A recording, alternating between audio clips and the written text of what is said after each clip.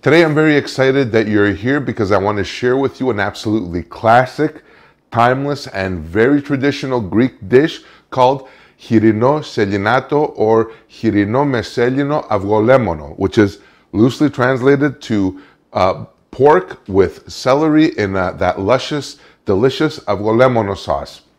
Very easy to make, not complicated at all. It only tastes like it took like three days to make.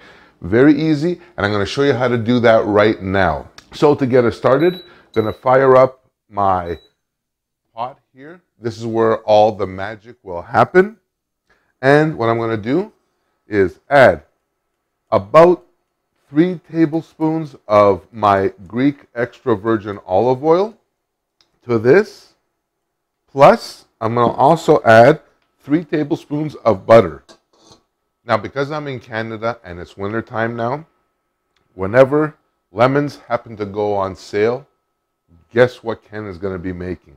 Everything is going to be lemon inspired. Avgolemono, lemon sauces, lemon cakes, lemon puddings. I mean, when they're on sale, I put this stuff on my cereal for Christ's sake. But anyway, so moving along, my butter is well on its way to melting down, and that's what I want, along with my olive oil. What I'm using for today's recipe is four generous portions of pork loin. I'm going to place them in my pan. Nice and easy. Perfect. Just like that. And let those kind of cook away and get going. The next part of this, while this is going, is a little bit of salt will go on my pork, a generous amount of pepper, and once we flip these, same deal will apply. Next thing is our onions. What I'm going to do is just slice up my onions. Typically in this recipe, it's for a finely uh, dice or a fine, very fine chop. In my case, no need. I like to see what I'm eating, and I like not only to taste my ingredients, but to see my ingredients as well.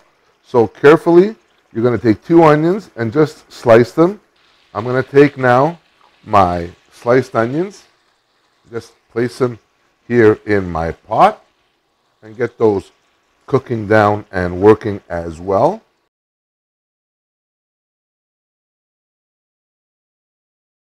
Now, winter in Canada, when it comes to fruits and veggies, is kind of a no brainer. This is how our celery in Canada comes in the winter time. I've got a gorgeous bag of celery. It's about two pounds. It may sound like a lot, but it's really not. Not for this dish. It's already pre-cleaned, pre-cut. Looks just perfect. What I'm going to do for this is very simply break these stalks into thirds. Now, I don't like celery that's too, too long in my dishes because this is going to cook down with the, with the pork as well. So this will go in there. And for those of you that have tried this, my friends, you know exactly what I'm talking about. A plate of this, a chunk of feta, and some like fresh, crusty bread you know where this is going. So I'm just going to continue uh, thirding up my celery stalks and adding them to my pot. All right, and that's the last of my celery going in there. I know it looks like a lot of celery. Well, actually, it is a lot of celery, but it's filling up the pot. That's totally fine. What we're going to do at this point now is crank up the heat to high. And what I'm going to do is cover my pot or my pork and my uh, celery until it's just covered with water. There is no real measurement of this. So whatever kind of, whatever amount depending on the pot you use. As an example, right now I've got four cups going in there and I'm going to fill up another four and see where it takes us. That's pretty good right there. My pot is pretty much full. I don't want to get too crazy. So what I've done here is added about eight cups of water. You play it by ear and see what works in terms of the size of pot you're doing. One more time, a little bit of salt will go into this for the pot. I seasoned salt one side, salt on the other side of my pork, and now I add a little bit more salt and a little bit more pepper to my actual broth that I'm making here, because that's exactly what we're doing. What we're going to do is bring this up to a boil, cover, and simmer this for approximately one hour.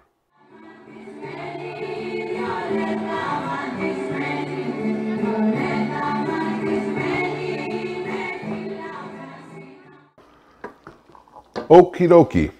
It's been about an hour and uh, 20 minutes or so. My, my pork and my celery is done. It's actually perfect. It's ready to go. I've turned off the heat because we don't need the heat now at this point.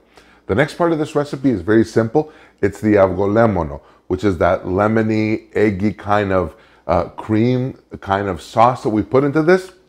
Well, today, my friends, I'm going to show you an easy, foolproof method to get perfect avgolemono every time without it curling on you or getting all kind of like grossness and getting chunks of scrambled eggs. We don't want that.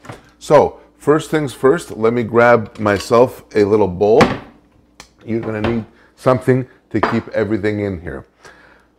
What I'm gonna do, this recipe here, I don't have to kind of mess around and separate eggs. I'm gonna just mix my eggs one at a time, whole. Like there's no, there's no messing around here. So get that out of the way. Nothing to this. Perfect. Three eggs. Let me grab myself a whisk. Perfect. And just whip up your eggs as if you were making scrambled eggs. Very easy, very, very easy. Now, the whole trick to this whole avgolemono business is to make sure that this or your scrambled eggs don't get heated too fast and they don't end up scrambling on you. So I'm going to grab the juice of a couple of lemons and all you're going to do is just pour it in here nice and easy. Nothing complicated at all. I had breakfast so I'm all ready to do my squeezing here. That's fantastic. Now, I like my avgolemono pretty lemony, so I'm using the juice of two lemons. If you feel that you don't want it that lemony or you don't want it as tart, feel free to just do like, you know, one. That's totally fine. That's fantastic. And the pits will go there. Again, give this a quick whisk, incorporating the lemon and your beaten eggs, your whipped eggs. Now this part here is where all the marbles are. I am going to take some of my hot liquid from here and I'm going to slowly, very, very slowly, start tempering it in here. And tempering basically means I want to bring up the temperature of the eggs without having them actual actually cook. So, a little bit, this is where patience is a virtue, my friends. You don't want to just dump, you know, a cup of juice in here and let everything get all mixed and curled. You're going to have all chunky avgolemono, and that's just gross. So continue beating this. There you go. And that's just perfect. Here is the next trick to the perfect avgolemono. You're going to kind of even things out into your pot. And with this now, all you're going to do is very slowly start pouring this all around into your pot. Leave that there. And you're not going to agitate it in the sense of putting in like a kitchen tool, like a spoon or, or whatnot. You're just going to kind of jiggle this around and kind of shimmy the pot and making sure your avgolemono will get everywhere. Mmm, that is absolutely fantastic. That's exactly what I'm looking for. This consistency right here, that is absolutely perfect. So that's my avgolemono dish. I will take a little bit because naturally I want to try this. I'm going to take a little piece of my meat. as well. Look at this. It's just literally, it's just falling apart with some celery. That is exactly. Oh my God. Yeah. That's what I'm talking about right there. This is it. Notice, look, look at my pork. My pork literally, it flakes like tuna. Wow. Take a little piece of celery too. Oh yeah, this is hot. Mmm. That's it right there. So good. You have that lemony tang. You have the sweetness balancing that tang from the celery. And it all comes together in with the pork. It's absolutely magnificent. This is a dish you can make anytime. Serve this, my friends, with feta cheese or some other kind of sharp cheese. I'd make sure you have plenty of bread, crusty bread to kind of dip in the sauce, because this is all the marbles. Mmm, mmm. So, my friends, here you have it. Sorry it took me so long to bring it up and make this. I've had like a ton of requests for this, and justifiably so. It is so amazing. It's a very easy dish to make. One pot, clean a snap. And it's a dish that, you know what? You make a pot of this and you're serving easily six, eight, ten people, no problems at all. Or a romantic dinner for two. So, my friends, that's it for this uh, episode on Chirino avgolemono or pork with celery and avgolemono sauce. Thank you very much for watching. Hit that like button. Subscribe if you haven't already.